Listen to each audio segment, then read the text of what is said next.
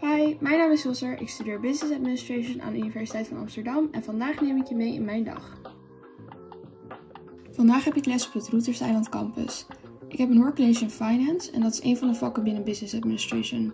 Verder krijg ik ook vakken zoals marketing, strategie, human resource en nog veel meer.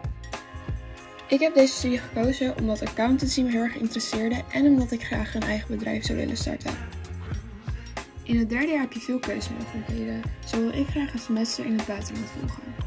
Ook studeer je aan een heel mooi campus met heel veel studieplekken waar je na je hoorcolleges kan gaan leren. Dit was alweer mijn dag. Zie ik je volgend jaar?